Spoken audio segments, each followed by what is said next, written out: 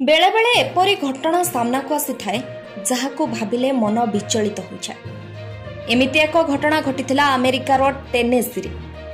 ଜଣେ ଛବିଶ ବର୍ଷୀୟ ମହିଳା ସ୍ୱାମୀଙ୍କ ମୃତ୍ୟୁ ପରେ ତାଙ୍କ ଅସ୍ଥି ପାଉଁଶକୁ ଚାଟିବା ଘଟଣା ସମସ୍ତଙ୍କୁ ଚକିତ କରିଛି। ସ୍ୱାମୀଙ୍କ ଦୁଃଖରେ ଭାଙ୍ଗି ପଡ଼ିଥିବା ଏହି ମହିଳା ଜଣକ ସ୍ୱାମୀଙ୍କୁ ଭୁଲି ପାରିନଥିଲେ ଫଳରେ ସ୍ୱାମୀଙ୍କ ଅସ୍ଥି ପାଉଁଶକୁ ଚାଟୁଥିଲେ। ଧୀରେ ଧୀରେ ଏହା ତାଙ୍କର ଅଭ୍ୟାସରେ ପରିଣତ ହୋଇଗଲା। ସ୍ୱାମୀ ସ୍ତ୍ରୀଙ୍କ ସମ୍ପର୍କ ଦୁନିଆର ସବୁଠୁ ନିକଟତମ ସମ୍ପର୍କ କହିଲେ ଅତ୍ୟୁକ୍ତି ହେବ ନାହିଁ। ଏହା ଏକ ଏମିତି ସମ୍ପର୍କ ଯାହା ଦୁଇ ଅଜଣା ବ୍ୟକ୍ତିଙ୍କୁ ଜନ୍ମ ଜନ୍ମ ପାଇଁ ଏକାଠି କରିଦିଏ। ଜଣକ ମୃତ୍ୟୁରେ ଅନ୍ୟ ଜଣେ ଭାଙ୍ଗି ପଡ଼ିଥାଏ। ଏମିତି ଏକ ଘଟଣା ଘଟିଛି ଆମେରିକାର ଟେନେସେ ସହରରେ। ସେଠାରେ ରହୁଥିବା କୈଶୀ ତାଙ୍କର ଅଦ୍ଭୁତ କାରନାମା ପାଇଁ ଏବେ ବେଶ୍ ଚର୍ଚ୍ଚାରେ। ଆସ୍ଥାମା ରୋଗରେ ସ୍ୱାମୀଙ୍କର ମୃତ୍ୟୁ ପରେ କୈଶୀ ସ୍ୱାମୀଙ୍କ ଦୁଃଖରେ ନିଜକୁ ସମ୍ଭାଳି ପାରିନଥିଲେ। ଫଳରେ ସ୍ୱାମୀଙ୍କ ଅସ୍ଥିପାଂଶକୁ ସେ ଚାଟି ନିଜ ଭିତରେ ସ୍ୱାମୀଙ୍କ ଦୁଃଖକୁ ଭୁଲିଥିଲେ।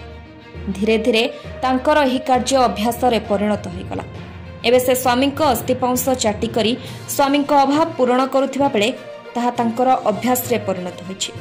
ସେ ଏଥିପାଇଁ ଲଜ୍ଜା ଅନୁଭବ କରୁଥିବା କହୁଥିଲେ ମଧ୍ୟ ତାଙ୍କର ଏହି ଅଭ୍ୟାସରୁ ସେ ନିଜକୁ ମୁକୁଳି ପାରୁନାହାନ୍ତି।